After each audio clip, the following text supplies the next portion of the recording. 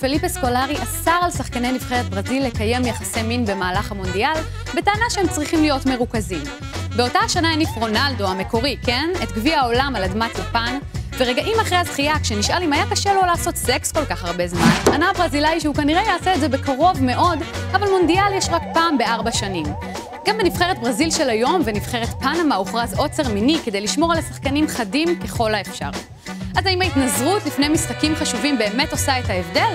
אם תשאלו את יוגי לב, מאמן נבחרת גרמניה, הוא יגיד שבהחלט כן. לא רק שהוא אסר על שחקניו לקיים יחסי מין במהלך המונדיאל הקרוב ברוסיה, הוא גם דרש מהם להימנע לחלוטין מקשר עם בנות זוגן לכל אורך הטורניר.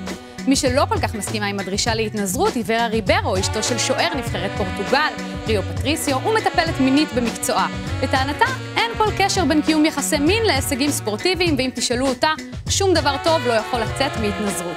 אז מה היא בכל זאת ממליצה לשחקנים שנאסר עליהם לראות את נשותיהם? לעשות זאת בעצמם.